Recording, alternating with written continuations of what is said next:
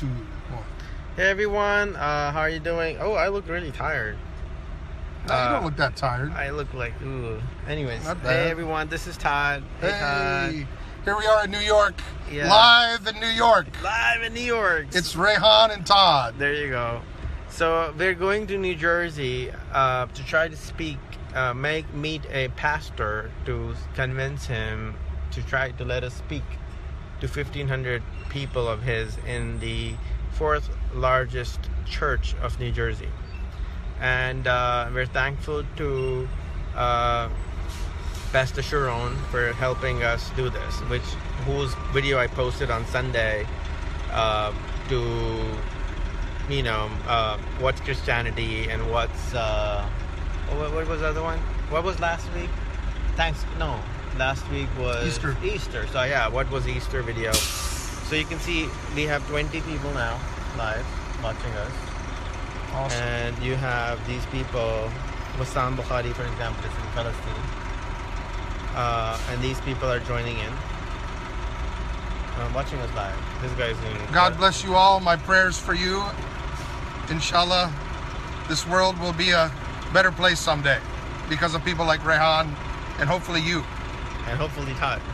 Inshallah. No, not hopefully Todd. Todd. Todd Insh- makes a huge difference. Inshallah. Uh, so yeah, we're in New York City. We're going to Jersey, and you can see we're stuck in the New York traffic. We will be stuck in New York traffic really a lot. And this is uh, one of those tall buildings of New York City. Oh, you can show him my window. yeah, we will do that once we get in the boring part of this town. We talk about uh, nothing. it's like we're having a, our own Seinfeld, right? a show about nothing. So yeah, look at that really large billboard thingy. I think they're construction doing on something and making money off nothing over there. Uh, hello Todd. Gola Singh. Todd. Hello Todd.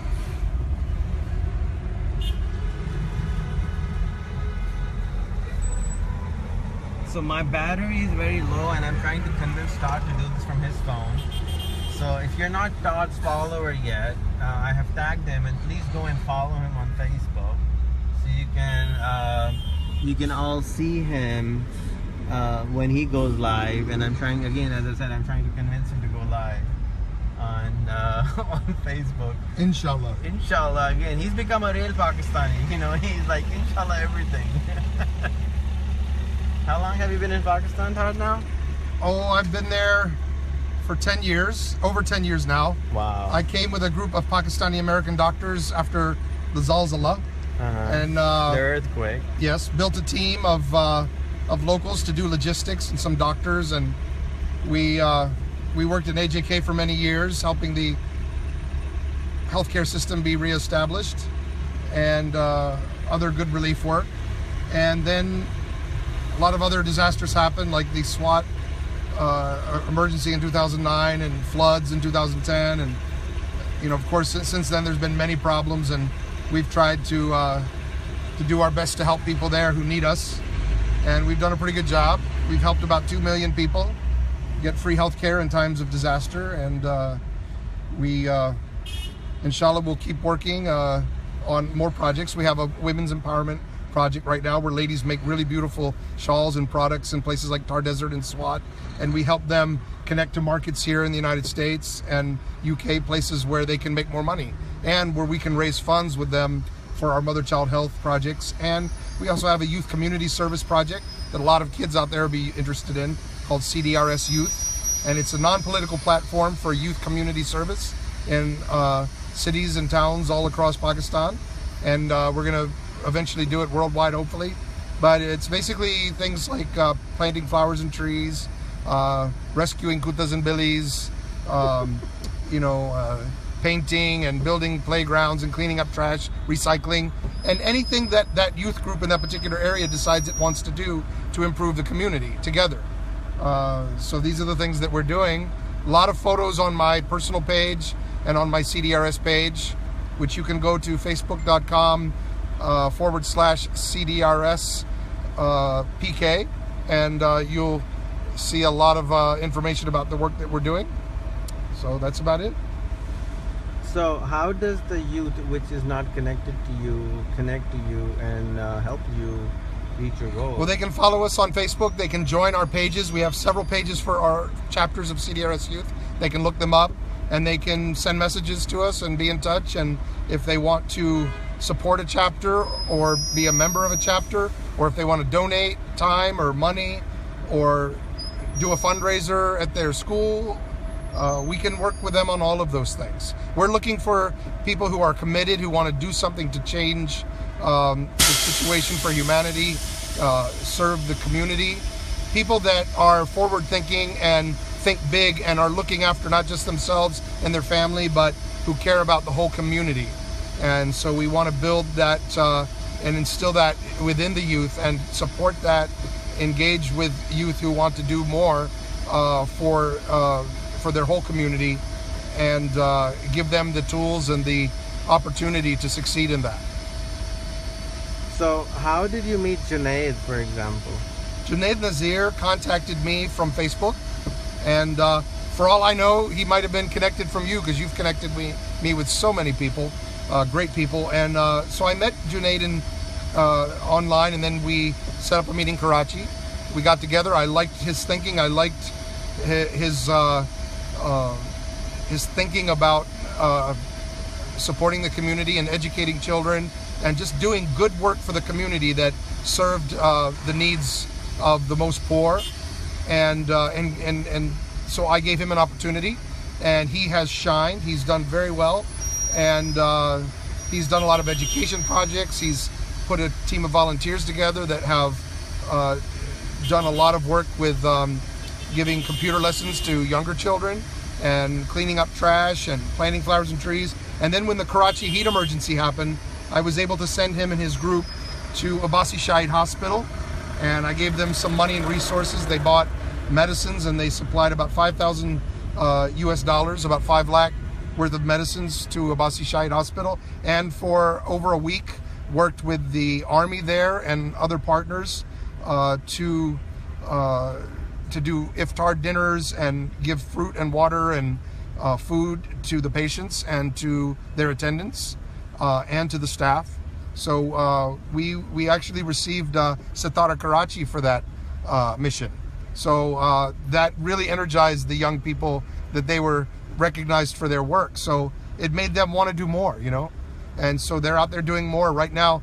Uh, just last week, um, Junaid got back from from uh, Thar Desert. Really energized the young people. All right, here we are. Now I'm now I'm seeing myself, and you're seeing me seeing myself. they're out there doing more right now. Uh, just last Crazy. Week, but uh, Junaid just got back from uh, Thar Desert and from Balochistan, where he's doing some water projects. So just an amazing young man, an amazing group of kids, and that's what I want to find more. I want to find more Junaid Nazirs in Pakistan because that's what we need in this uh, to, to, to make Pakistan as great as it can be so it can reach its full potential. So, Inamul Haq is asking, uh, what's his good name? His good name is Todd Shea, S-H-E-A. He is tagged on this video. You can see the status and it says that, uh, um, you know, what his name is. So there's another guy, Ali Daduwala. He's saying, please add me, and he's another Junaid for you, by the way. He oh, would awesome. be really, really cool for you in Dadu. Well, I'm already at my uh, list of 5,000 friends. Uh, you know, Facebook unfortunately doesn't allow for more than that, but you can still follow me. You can still uh, go to our pages and add yourself and message me. Uh, so uh, definitely you can still engage with me, even though the list is full. Right. Wissam Bukhari is from uh, Palestine. Look at show him that beautiful building, the Chrysler Building. It's a very pretty building in New York that was uh, built in the 30s. There you go.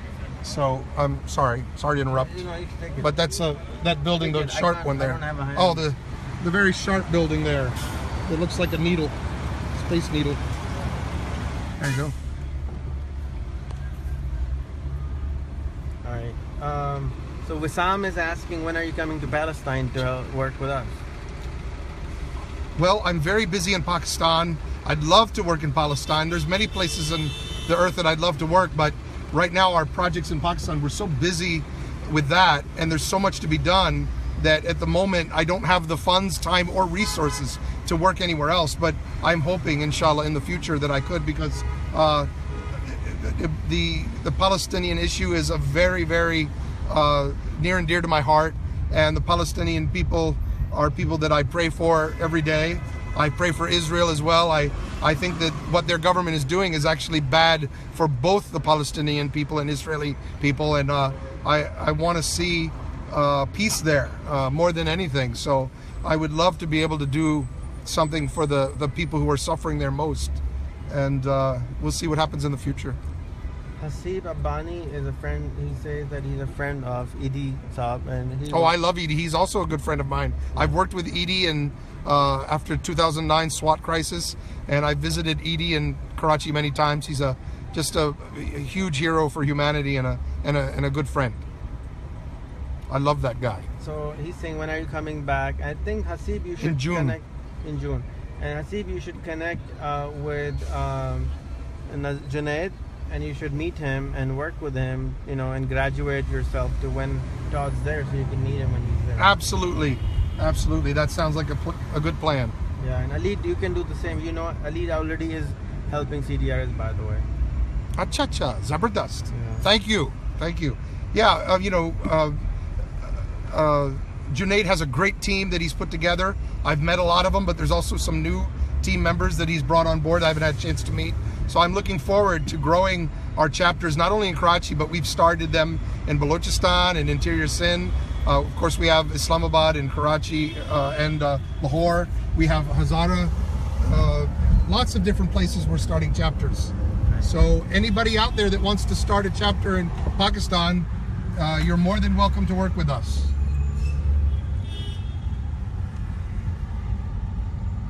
We're turning here on the 39th Street. We're going to go through the tunnel, The Holland Tunnel, under the uh, Lincoln Tunnel. the Lincoln Tunnel to New Jersey, and then it'll be boring highways.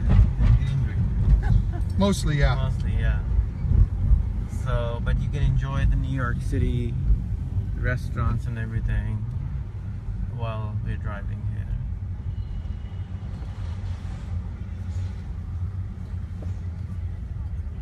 Hey Salman Faruqi, if you're free, text me and I can text you the address where we're going. You're more than welcome to come. I think it's near your house. Shahzad Raza is asking any work for blind kid. I think Shahzad, if you run the chapter for CDRS blinds, I think Todd would be happy to work with you and uh, help you raise funds. Todd's specialty is to enable people and in, in, in not really do the work in his hand. He says himself as a connector and you know he helps you raise funds and connect and am I am I right? Absolutely. And because of technology, a person without sight now can do more than at any time in the history of mankind. And it's only growing and getting more and more uh, technology advancing. So, um, as long as you're on a computer and you have a connection with the world, there's a lot that you can do with CDRS, and we'd love to have you on board. Salam to both of you, sir. I'm just asking, is there any program for deaf kids? Um, Irshad Khan, we have a website called enabledpk.com and it's designed for disabled people. And you can go there, and what we have done is we've listed all the deaf and blind and all that kind of stuff over there so you can find what's going on in deaf. You can also uh, add my friend Sarah Cohen uh, in my Facebook, and she is deaf, and her husband is deaf, and she can teach you lots of things going on on the internet uh, related to deaf people uh, if you if you have some family who's deaf. So those who have not been to New York, look at this. You know, it's around 5 p.m. So you will see a human brigade of humankind Yeah, go. running, show back to there, running left and right because of the subway station. Um, they and everybody's like- getting off of work. yeah, everybody's getting off work, running for the subway, and it's like a mosquito or like a beehive. Yeah, yeah. That's what Manhattan is. Yeah. It's just a beehive of people. Yeah. People behaving properly, improperly sometimes.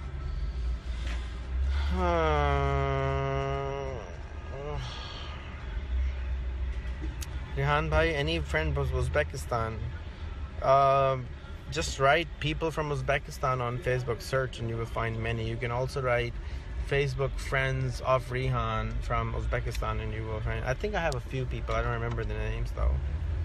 Rehan is Mr. Innovation, Mr. Vision, and Mr. Technology. And Mr. Weird.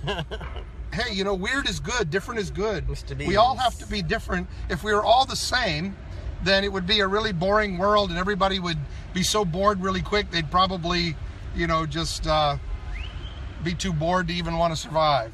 yeah. But it's difficult to be different because people don't have the courage to be different. And that's what we're trying to build here. We're trying to give you the courage to come out of your cocoon and become the butterfly you're supposed to be. And every butterfly is different than the other one. But most people want to be the cocoon. So that's my goal with the 500 friend thing. Sure. Well, you know, in life, there's people that uh, that want to conform uh, and just be one of the same. But then there's there there are people that are, you know, they're a little different. They're meant to be different, and sometimes they uh, have difficulty because they are different and they think differently and they do different things. But at the same time, some of the greatest people in humanity that have done some of the greatest things and discovered amazing things and done some of the best art and designed some of the greatest systems, those were the quirky people that were a little out there that everybody in the beginning when they were in high school or when they were young thought that they were weirdos that would never amount to anything. And then those are the people that have truly done great, great things. So, uh, you know, everybody out there, if you're a little different, embrace embrace being a little different, and uh, and go for it, because you're probably going to end up doing great things. And unfortunately, there's probably people who could have done great things who maybe weren't courageous enough to try, and uh, they just tried to conform, and they they just tried to go along to get along, and maybe they were afraid to to to try uh, to do great things, or maybe somebody discouraged them along the way and uh, made them feel as though they weren't important, and uh, that's a, a shame because uh, I think humanity needs all of those those weird people out there, um, but weird in the sense that they think differently, uh, not weird in the sense that they're bad, because there's bad weird, but there's also good weird, and uh, Rehan is good weird. I try to be good weird, and uh, weird. the the You're thing is, good. You're not so weird. well, you You're know, good where you are. I think in in uh, you know I think uh, the the word weird has a a big definition, but Yeah. you know uh, people that think out of the box and do crazy things. You know, people think I'm crazy for being in Pakistan, for having even gone in the first place. But if I hadn't have done that, I would have never known how great the Pakistani people are. I would have never been able to accomplish with my team and with my friends there uh, all the things that we've been able to do that have made lives better. Um, and the more that we can do, the better it'll be for Pakistan until one day, hopefully, we'll all work together. All these people who have their their different organizations and different people, if they all work together, uh, we can solve the the problems of Pakistan, and there will eventually hit a tipping point where things are going in in the right direction. And uh, you know, it's not just what we do in life; it's also what we don't do. So uh, what we don't do has an effect towards the negative. What we do do towards the positive obviously has an effect. What people do towards the negative. So everything you do, whether you do something or whether you don't do it, whether you do it in a positive way or in a negative way, has an effect on the sum total of uh, what humanity uh, goes through in this world and where we take ourselves in the future. So everybody is an important part of that, and God gave us all important gifts, and it's up to us whether we use them or not. Cool. So be weird. Be, Be good. weird. Be good and be weird. Like Apple says, think different. Differently think. Maybe CDRS uh, logo can think weird. Inshallah. Or, I don't know. Uh, Junaid Nazir is saying, Rehan bhai, please ask Todd to take care of his health. Do you know how I met Junaid, by the way? It's a really interesting I can't story. remember. And how I met him. Acha. I know I'm sure you met him through me, but I don't know if you know how I met him. It was a very weird experience. He's a, he's just a fine young man. yeah. But go ahead, tell me about it. I'll tell you once we, you know, once we have more boring atmosphere. It'll be once we get in the tunnel, it'll be pretty boring. yeah. So for people you know. But I don't know if we'll broadcast in the tunnel. I don't know well, we will signal. get out of the tunnel. yeah, we will get It'll be it. just like a five minute drive. we will eventually get out of the tunnel. That's for sure. Hopefully. Inshallah. so as you can see, there's a lot of construction in New York City. New York City is getting uh, better and better by the day. It's becoming more expensive by the day because everybody in the planet wants to come to New York or London. Um, if you look at these bikes, these are one of the, you know, if you look at my video about the bikes, that's, I mean, and Google these bikes, these are Citibank bikes. Um, and you can also YouTube Berkeley Bank, uh, Bar- Barclays Bank uh, bikes in London. They're the same, and these bikes are fifteen dollars a month, and you can drive from one place to another. So you आप एक motor एक एक bike लेते हैं और ये bike लेके आप दूसरी जगह पे आधे घंटे के अंदर अंदर आपको छोड़नी होती है तो for example if somebody wants to start this business it's not very expensive it's around $800 to $1000 per bike if you want to get into this you can add gentleman Kamaran ch from my facebook. He will be happy to help you sell you the solution in whichever city you are. I think sialkot should think into it. Lahore should think into it. Karachi might want to think into it. Um, and it's a very good venture for citibank in pakistan or you know like uh, any bank or any which company would it be? Coke maybe you know it'll be good for branding for them to have a coke bike or pepsi bike like uh, and they will they will really uh, be doing help to people and this part of the new york is uh, used to be cheap part um, factory-ish area i guess Todd, what do you Can I have a Yasser's Broast bike? uh, what, Yasser Yasser Bros? Broast? Yasser Bros? Yasser Broast is one of my favorite chicken places. Oh. It's in Lahore. Oh, So if I if I have a bike, it'll be a Yasser Broast bike, Okay, just to promote uh, their great chicken. sure. You're already promoting them, right? That's right. If you're in Lahore, Yasser Broast, man, it's it's it's just awesome. Yeah.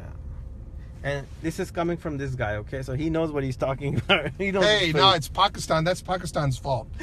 Because I came to Pakistan at 200 pounds, and now I weigh 310 because the Pakistani khana is too much mazadar and laziz.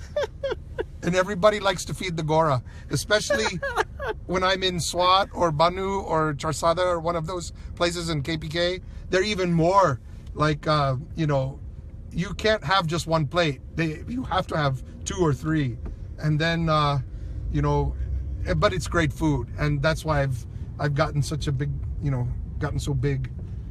You're fine. Look at those buildings. Those are cute. These are newer buildings, I guess. What part? Are we in the east, west side now? Yeah, trying to hit the uh, Tunnel? Lincoln Tunnel. There it is.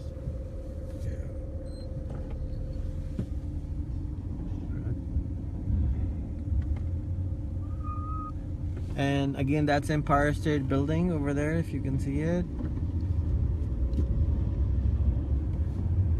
And that's a guy with a chair in his head.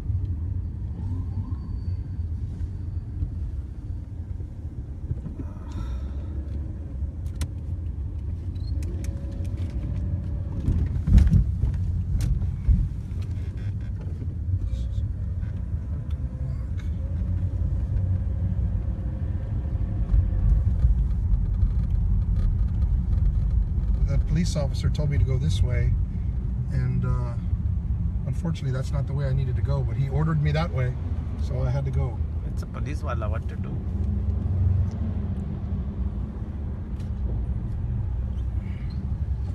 Let's see if I can do this way.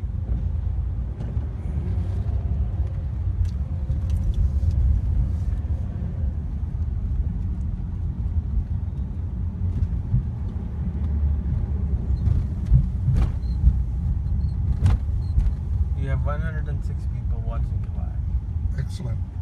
Hopefully, they're watching me go into the tunnel. Dun dun dun dun dun dun dun dun. Is this it? It appears to be. Huh. So the tunnel is probably going to charge us on the way back, I guess. Uh, yeah, we, we don't pay out. You only pay going in. I guess they do that to save time. You, know, you just you just pay for everything when you go in, Yeah. and then when you go out, it's basically uh, already paid. So we're going into the Lincoln Tunnel. That's I guess one of the new buildings again. It's a DHL building. All yellow. Yeah, it looks like DHL to me. Yeah. It, it said DHL, but it looks like Acha, a self storage service. Acha, yeah. Maybe it's DHL self storage. Maybe. Maybe they started that.